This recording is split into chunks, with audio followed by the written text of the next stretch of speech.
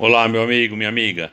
Aproveita aí, ó, já vai se inscrever no nosso canal aqui, deixando seus comentários, tá?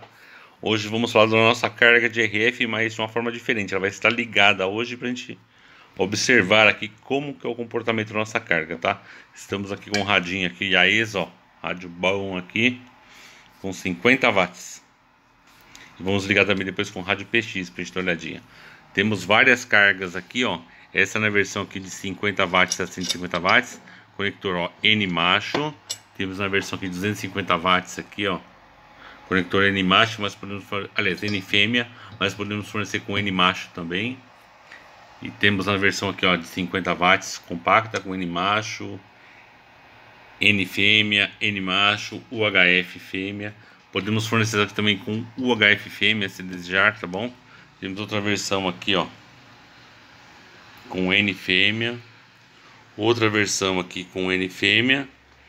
Temos uma versão aqui ó, com atenuador, tá? Com a... Nós temos duas versões de atenuadores. Uma com atenuador independente da frequência, que é até 2.7 GB. Sai 30 dB fixo, travado aqui, independente da frequência, até 150 watts. Temos a versão de 100 e 150 watts. E temos uma versão também que você injeta a potência que é até 500 watts. Isso é um valor que é atenuado maior que 30 dB, tá bom? E temos essa versão que a gente vai testar hoje aqui, que é o mesmo comportamento das outras. É uma carga aqui de... Temos uma versão de 50 watts, 80, 100, 150 watts. Tá vendo? Ó, compacto e temos a versão também com a saída de amostra aqui. Você vai ver nos outros vídeos nossos, se procurar no canal aqui, tá bom?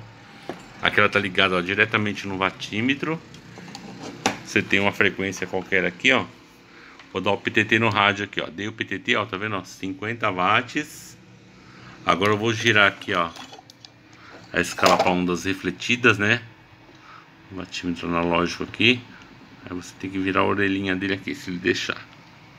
Tá? Então faz tempo que eu não uso ele aqui. Que até...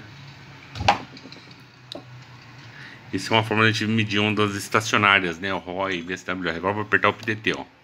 Tá vendo que eu apertei o PDT? O ponteiro lá mal se mexe, ó.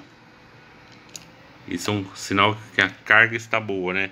Então ela serve para você testar aqui o cabo de entrada, cabo de saída, calibrar a potência do rádio e testar a carga também, né? A carga, enfim, é mais com uma referência que é uma antena perfeita e não irradia para lugar nenhum.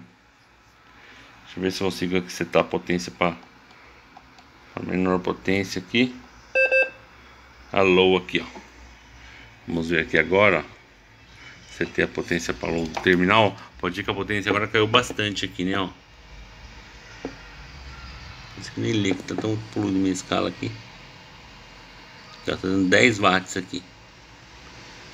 Pode ser a escala de 50 watts.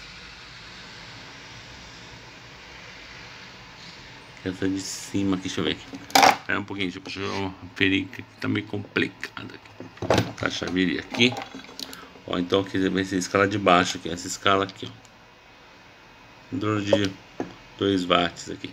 E é isso aí, pessoal, ó. Temos uma empresa de engenharia com mais de 8 anos de mercado, tá? Gerando empregos aqui no Brasil. Ó, você tem para potência alta de novo aqui, ó, 50 watts aqui. Somos uma empresa de engenharia gerando empregos aqui no Brasil. Temos vários produtos de, aqui para comercialização, né? Desde cargas de baixa potência, cargas de alta potência e microcargas, são os dumper, né? Jumper. Uma carga parecida com isso daqui, não está aqui no vídeo agora, mas você pode rolar nos vídeos aí e ver. Aí você espeta aqui para você testar HT, testar os transmissores, testar cabo, ver se está perfeito ou não, né? E é isso daí, ó. Muito obrigado por perder um pouquinho do seu tempo aí por ver nossos vídeos. Um obrigado aí, um abraço. Somos uma empresa nacional gerando empregos aqui. Temos cargas desde 50 watts, a, aliás, perdão, de 5 watts até 500 watts, com saída atenuada ou amostra de sinal.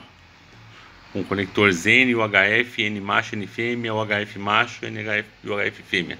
Basta fazer encomenda aí, tá bom? E essa é a nossa carga que estava em teste aqui, ó.